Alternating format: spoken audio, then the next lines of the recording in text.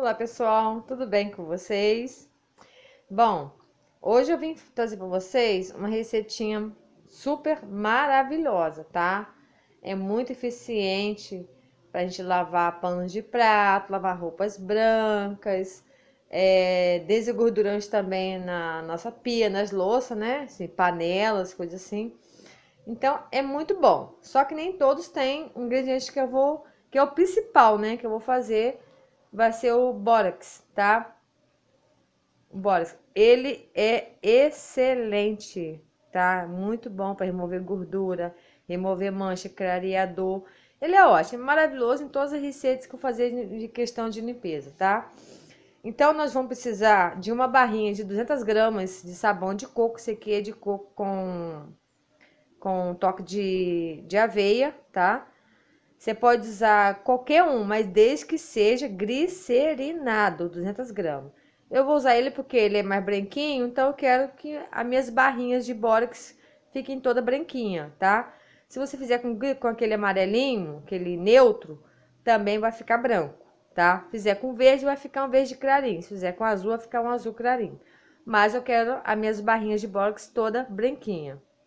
Vou precisar também de sal de cozinha Gente, o sal de cozinha que eu uso, eu para mim fazer meus produtos, tá? Até em casa também para fazer comida, eu prefiro sal cisne.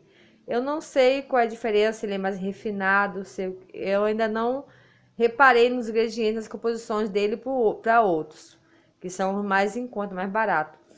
Porque até nas receitas, detergente multiplicando, é, multiplicando detergente, multiplicando o sabão líquido de mercado, que é a coisa toda, quando se leva sal, faz a salmoura, o sal cisne é o melhor que tem, tá? Os outros eu não indico. Então, se quiser fazer com sal comum de cozinha, o mais barato pode fazer, mas eu prefiro o sal cisne, tá? E vou precisar também de lauril caseiro, tá? Tá até aqui. Depois eu vou, vou fazer esse, essa receita para vocês. Eu fiz lá do canal do Paulo Adriano, só que isso aqui eu modifiquei algumas coisas, tá? Mas ficou muito potente, muito bom. Fiz 2 litros. Lauril caseiro. Pode ser lauril industrializado também. Se você não tiver nem lauril industrializado, nem o caseiro, você pode estar utilizando também shampoo neutro, que eu, algumas receitas também assim faço com shampoo neutro, tá? Então, a gente vai pegar, vamos ralar essa barrinha de sabão e eu tenho aqui um litro de água que eu vou levar para, ao fogo para dissolver essa barrinha de sabão tá? Eu vou ralar aqui, mas primeiro eu vou usar uma luvinha, sabe? Porque o médico me proibiu de mexer com qualquer produto de limpeza sem usar luva, máscara e óculos. Tô proibida. Tô proibida, proibida, proibida, gente. Tô proibido legal. Então, agora tô lascada, né? Tem que obedecer o médico. Senão a minha a minha sinusite volta, tá? Eu tinha, uma, eu tinha crise sinusite muito forte há uns 10 anos atrás. Então, ela começou a voltar de, deriva, deri, a, de, derivada ao uso né, desse produto químico que eu tô usando. Aí ela tá querendo voltar de novo, só que eu não vou deixar.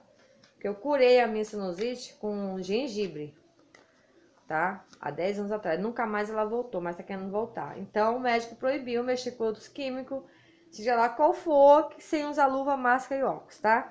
Então, eu vou ralar essa barrinha de sabão aqui nessa folhinha branca e já volto com você. Vou ralar o lado mais fino, ficar mais fácil de dissolver, tá? Vou botar um pause aqui e já volto com vocês.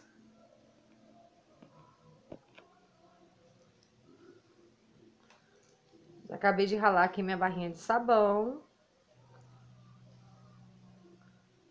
E... Gente, minha voz estiver um pouco esquisita porque eu tô usando máscara, tá? Minha voz, a máscara é fina, mas mesmo assim eu acho que a voz fica diferente. E tô usando óculos também. Óculos de proteção. Tudo agora vai ter que ser assim. Porque crise sinusite, minha filha, ninguém merece. Quando eu dava crise, eu ficava semana de cama. Então, pessoal, eu vou botar esse sabãozinho aqui ralado e dentro desse um litro de água que tá aqui. tá? Esse sabão, ele é muito potente, vocês vão gostar demais de fazer ele. Pronto. Agora vou levar o fogo ali para derreter, tá? Esse aqui tem que levar o fogo porque é meio difícil de derreter, não é fácil de, de dissolver esse sabão aqui não, tá? Aquele neutro, ele é, e o verdinho é ótimo para dissolver assim. Mas o azul e esse daqui já é enjoadinho, demora mais um pouquinho, então tem que levar o fogo, tá? Vou levar o fogo e já volto com vocês. Bom, gente, já derreteu aqui minha, minha barrinha de sabão. Então, o que que eu vou fazer? Aqui, eu vou colocar as duas, as cinco colheres de bórax, tá? Cinco colheres bem cheia, tá, pessoal? Aqui, essas cinco colheres dá aproximadamente 150 gramas. Três, quero bem cheia mesmo. Quatro. Cinco. Ver como esse sabão, ele fica potente. Vai ficar muito bom mesmo. Ó, vai dar logo uma engrossada, tá vendo, ó? Já começou a engrossar. É rapidinho, engrossa. Olha. Olha que coisa linda que tá isso, ó. Agora aqui, eu vou colocar, mexer bem, vou colocar o sal. O sal dá mais ou menos 60 gramas. Duas colheres de sal, assim, de sopa. Cheia, mas não muito cheia. Eu vou mexer. Aqui, se você usa, é, usar o lauril industrializado, você coloca uns 50 ml de glicerina, tá? Ó, o sal em contato com o bórax já ficou ralo, ó. Aqui agora, mas depois que secar, ele vai encorpar, vai endurecer, tá? Ó, mistura bem. E agora aqui eu vou colocar 200 ml de lauril caseiro. Esse lauril caseiro já contém já glicerina, tá? É para não ficar muito abrasiva a nossa, a nossa mão, né? E a nossa roupa também, quando você for lavar. Mexe bem.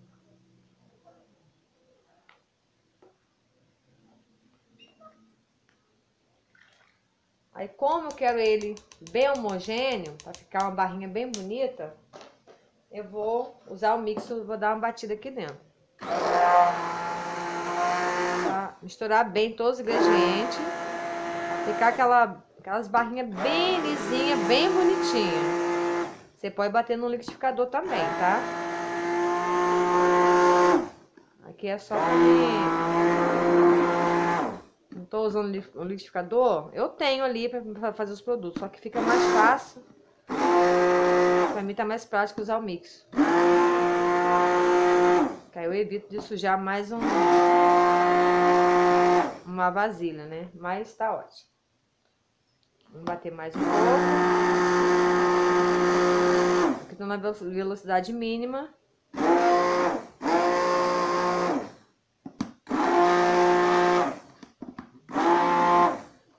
Todas as pastas caseiras, pasta não, minha. Todas as barras de sabão caseiro que vocês fizerem, e vocês baterem no liquidificador ou fizer isso aqui comigo, isso vai ficar lisinha, tá, gente? Lisinha, lisinha, lisinha. Agora eu vou colocar isso aqui e dentro da caixinha de leite, tá? Eu não gosto muito de estar tá usando caixinha de leite não, tá? Mas como é mais prático, sai mais barato, então eu vou estar tá utilizando. Porque aqui em casa a gente não usa caixinha de leite, tá? O leite que a gente usa aqui em casa é só de saquinho ou de roça não gosto de usar nada assim com é, conservante. Aí o meu enteado compra suco em caixinha, leite em caixinha, essas coisas todas. Aí eu, aí eu pedi esse para não jogar fora, para guardar. Vim fazer as barrinhas de sabão. Mas eu gosto de botar mais nos meus potinhos.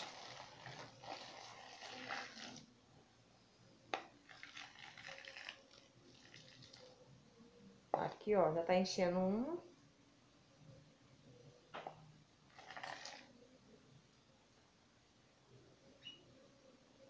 Já encheu uma aqui. Isso aqui vai descer. E vai baixar um pouco. Deixa eu pegar mais um que tem aqui.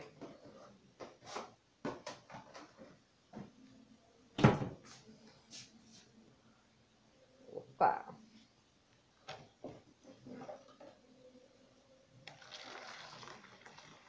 Vai inteirar essa. Prontinho. Agora, é só esperar ela secar, né? Não sei se, não sei, eu não sei quando, não me lembro. Eu já fiz ela, mas não me lembro quanto tempo ela seca, porque eu fiz à noite e só fui ver no outro dia de manhã. Eu fui dormir, parti pra cama dormir, acordei e tava dormindo. Mas como agora tá cedo, é umas. Deixa eu ver que horas são essas, gente. Calma aí. Deixa eu ver aqui. Ah, tá cedo ainda. São quase 8 horas. Então, se até mais tarde for dormir e ela estiver endurecida no ponto de corte, eu volto com vocês para mostrar o tempo que ela vai ficar, tá? Até o ponto de corte dela. Só baixar esse aqui, alisar esse aqui um pouquinho, para não ficar nenhuma espuminha na beirada. Ela bem lisinha. Aqui também. Deixar ela bem lisinha, bem uniforme. Tá bem bonitinha. Mexer aqui. Se quiser botar umas gotinhas de corante, pode botar, mas eu quero elas bem branquinhas assim, tá? Então, pessoal, já já volto com vocês para ver quanto tempo ela vai levar para endurecer para chegar ao ponto de corte, tá? Bom, pessoal, agora vamos ver como ficou nossas barrinhas de sabão, né? Essa aqui é a barrinha de bórax, tá? Vou desenformar aqui para ver. Suzy pipoca. Opa! Essa aguinha aqui é normal sair, tá? Não tem problema. Vou cortar ela aqui. E já tá usando luva. Eu não tô usando. Eu tirei a luva. Ó. Ela, ela tão durinha, tá? Vou esperar só elas secarem. Pra que eu possa... Vamos ver essa aqui agora como ficou. Tá saindo. Vamos lá que ela tá saindo. Tá saindo. Vamos ver.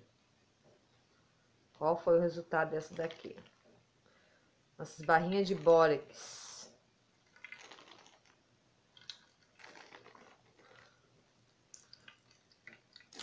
Apertando, tá saindo. Devagarinho. Opa. Aqui. Nossa barrinha de bórex. Aqui está. Deixa eu botar isso aqui pra lá. Essa água eu vou aproveitar, botar junto com o meu sabão pra lavar roupa. Né, que eu não sou boba. Olha. Cortar aqui. Vou deixar secando. Amanhã eu vou embalar. E vou pesar para ver quantas barrinhas, quantos de, deu de grama, né? Essas barrinhas aqui. Nossas barrinhas de bórax, tá? Opa, aqui deu uma quebradinha, mas não tem problema. Aqui. Vamos ver quanto vai estar tá, tá pesando essas barrinhas amanhã, tá? Deixar essa aqui assim mesmo, secando. Prontinho, pessoal. Agora eu vou deixar secar até amanhã. E amanhã à noite eu volto com vocês para mostrar quanto que deu de peso, né? Quantos que não rendeu essa barrinha de bórax, tá? Então tá, até amanhã. Olá, pessoal, tudo bem com vocês? Bom, gente, as minhas barrinhas de, as minhas barrinhas de bórax, tá? Eu já, como diz, no dia seguinte, né? Esperei secar, no caso é hoje, nós fizemos ontem, né? Eu secou rapidinho, eu embalei, agora vamos pesar, ver quanto que deu, né? Essas barrinhas de bórax. Então, vamos ver. Vamos botar elas aqui. Essas barrinhas, tô fazendo elas para depois a gente fazer um baita de um sabão líquido para lavar roupas, tá? Aí, deu 580 gramas, né?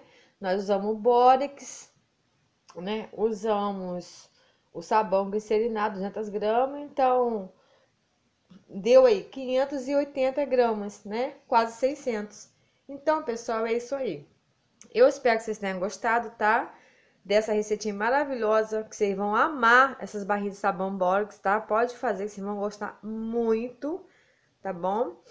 E eu vou, futuramente, eu vou fazer um sabão líquido aí com elas aí pra gente, tá? Vou elaborar umas coisas bem legais com ela, ok? Então, um beijão pra todos vocês.